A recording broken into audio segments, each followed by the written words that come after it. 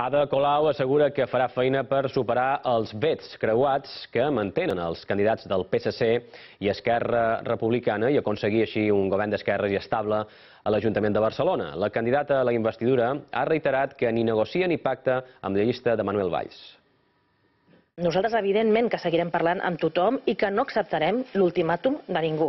Faltaria més. Creiem que la política necessita tot el contrari, tant a Barcelona com a nivell de país. Necessitem precisament superar aquesta política de vetos, de bloquejos i d'ultimàtums i línies vermelles.